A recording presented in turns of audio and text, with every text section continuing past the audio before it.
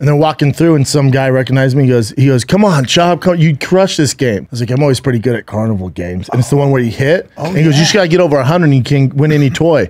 I said, "Well, I'm gonna need two. He goes, "Get over 100, you get you, you can get it."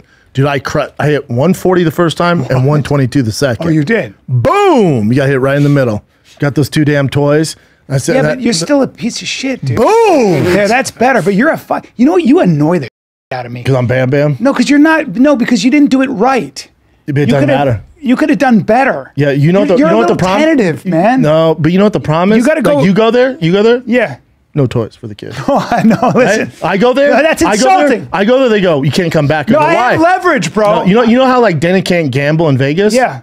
I can't play games at Carnival. No, I- No, I'm blackballed, dude. It's for reals. They went. Do not come But- back.